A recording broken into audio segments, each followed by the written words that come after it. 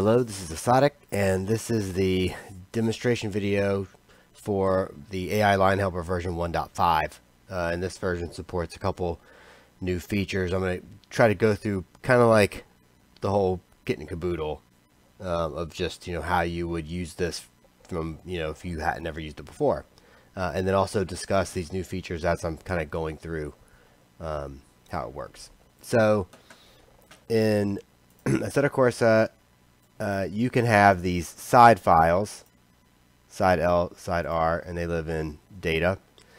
And these uh, define track boundaries. Uh, sometimes, you know, people create these things out of Blender. Uh, what the AI line helper is doing is allow you is allows you to create these files just by driving around the track. Um, so this is one of the files over here. And uh, these three columns are the ones that Assetto Corsa is going to be reading. And then I added in a fourth column uh, for the position on track. And then we'll see a little bit later how that becomes relevant. Um, so those are the files. Um, this is the, the code here.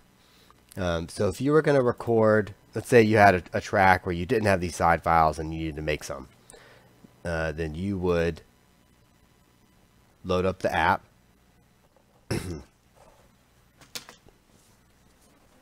into a track that maybe was problematic. Maybe it doesn't have a good AI line. Maybe the AI is behaving oddly. Um, so this is my app here, AI uh, line helper. and we're going to start using the track left or the track right. And so we're just going to do track left. I click it. It doesn't do anything because I'm not moving. Um, so as I start driving the car, you'll see it says start tracking left. And then this is the position on track, which we were just looking at in that other file in the CSV. Um, so when I'm driving lines, I normally like to be in a uh, kind of a chase cam view.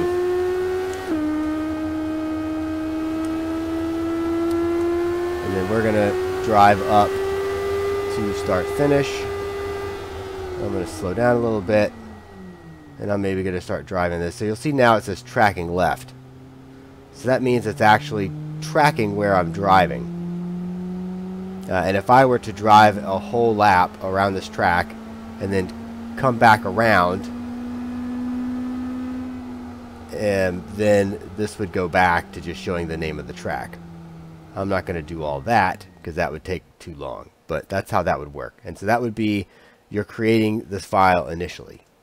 And then, of course, when you got done driving the track, it would spit this file out. So let's just assume that I did that. You know, I did the left side and then this thing reset and then I went back and I said, okay, I'm going to restart my session. And now I'm going to track right. Of course, it won't let me do that because I've already started tracking left and I haven't finished a lap. Um, and you would exit, you would have these files, and then you'd load back into your session, and you hold shift here at this point, and then this will force Assetto Corsa to load the side files. Um, and so these yellow lines are really hard to see on this track. Let's see if we can, uh, you can kind of see them up here maybe. Let's see. Yeah, like right right along here. You can see the yellow line. Maybe just it's very faint. you should be able to see it better on your monitor. Okay, so let's just assume for the sake of, you know, argument, like I need to re-record part of this right one. So I'm going to say part right. And so what that did, if I hit the home button, you'll see it loaded this side file into memory. And it loaded it into a dictionary in Python. And so now I'm going to go, and I'm not, if it's loading it from the dictionary, I don't have to go drive the line on the side of the track if that's not the part of the track that I care about fixing. So here you'll see it says uh, Dick right. This is for dictionary. Now let's just assume uh, that I want to fix part of this line up here. Maybe it's just a little too far away. So I'm going to try to drive on the line. And I'm going to say, you can hit the hotkey, which is Control F4. You can bind that to something on your wheel using JoyToKey. Or I'll hit the button here. So now it's tracking where I'm driving. I'm going to maybe just drive this closer to the white line.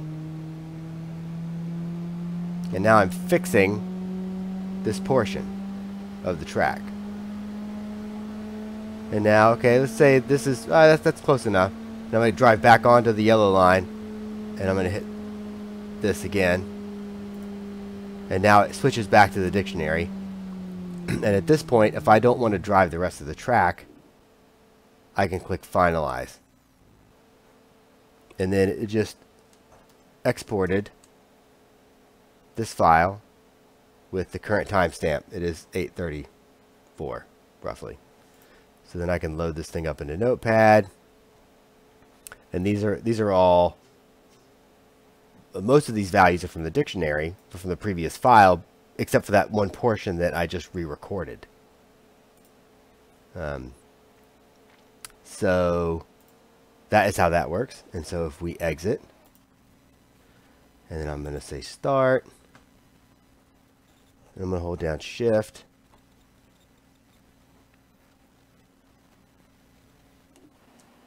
and I'm going to go just drive back over. Gotta be careful not to kick the back end out because this car will do that.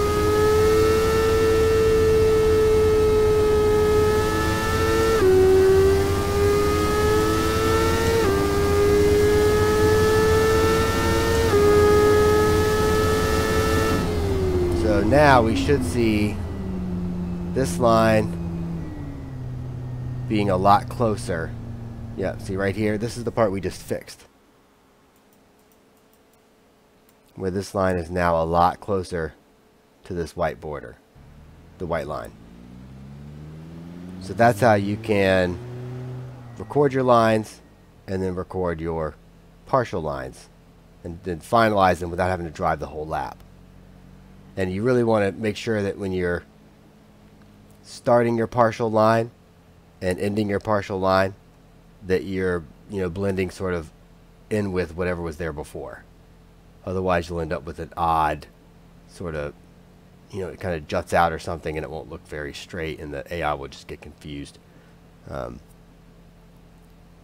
so that's how the AI line helper works. And this the AI line helper these sidelines will help to you know keep the AI in a reasonable place on the track and to keep them from being confused by strange shapes and things that may have been part of the side as it was defined when the AI, when the fast lane was recorded. So that's how that works. Hopefully that makes sense. If you have any questions, please uh, put them here in YouTube or on the Race Department thread. Thank you.